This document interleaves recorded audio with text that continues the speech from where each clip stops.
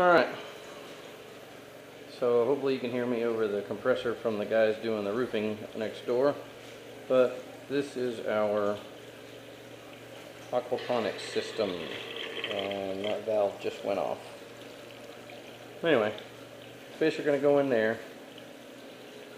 It comes out of the barrel into my pump, up from my pump into that water spigot just in case I need to drain it. And then hopefully you can see the three valves to regulate the return to the barrel, the output of the pump, and the output to the lettuce beds. Now these barrels here at the top are lettuce beds. I've got an air stone in there that's not on right now. But basically, a piece of foam is going to float on top of here. And the lettuce and spinach and whatever other greens that can stay in the water most of the time are going to be in it floating. And the probably to have another stone that's to aerate the roots so they don't rot. So I've got two of those. These are my overflow safeties that run back down the center into there. Um, this is set at a certain height so it overflows in these beds. Both these beds fill up over time. And these fancy little valves here, which let me turn my laser on so I can see what I'm aiming at. Those valves right there, which is just a standpipe. And then I've got, this is where the water comes into the bottom. That is a failed project for a vent, and this is the actual vent. But basically, it's going to create a suction as the water goes up. And when it gets past that standpipe, you look down here. I'm going to put the lasers on again. You look down here, this is the output for that one. And you can see that it's got like a P-trap on both sides, which helps it start the actual suction by, it goes over the top of that standpipe. That water flushes past that P-trap, which causes a suction in this chamber as the water goes up in the standpipe, which make the bed slowly drain.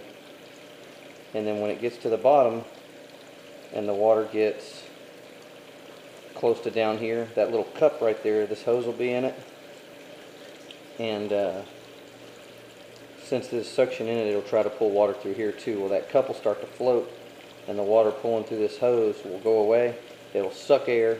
It'll turn the, basically effectively turning the suction off. And uh, maybe I can start it.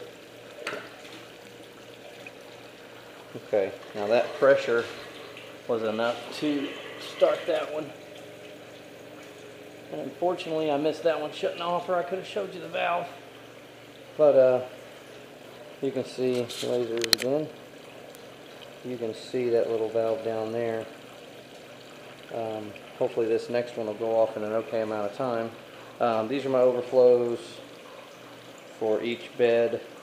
Uh, I tested everything and put caps on things to simulate failures. So I've capped this before, saw what it did. It leveled out and then it ran down my return. Um, that little guy down here, it's not really easy to see. It's just regulated off the main feed to aerate the tank for the fish while there's no draining.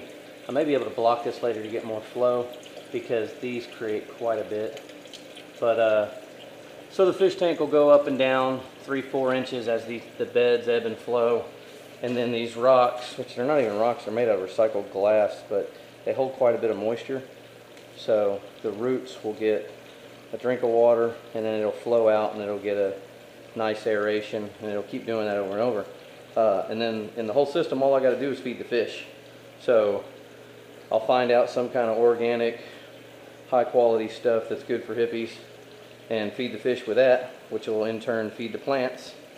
Um, and then once this system's working great, I'm gonna, this is all just tap water that I'm sure is fluoridated. So I'm going to vacuum the pump, the, the tank out to get the dirt and stuff from this uh, settling. Let that drain off, and then I'm going to order a whole bunch of Sparkletts that I know is not fluoridated and replace the system. That way I'm keeping fluoride out of everything I do. Um, and hopefully, I'm not, I'm not going to be able to grow tomatoes. Um, I've got to fill these up more because they're kind of loose when the water gets up. Oh, I hope we caught that. That was the pump valve shutting off and sucking air into the cap, and you can see it's not running anymore. and the one next to it is about to start. Oh, no, it's just got a little, as it goes, it gets a little hiccup here and there before it gets started. Anyway, hopefully I caught that, and hopefully that explains everything. And maybe I'll do a video once I get some greens growing. I had a little rosemary plant in here earlier that's gone, so we'll see how it does once we get the fish going and get everything rolling.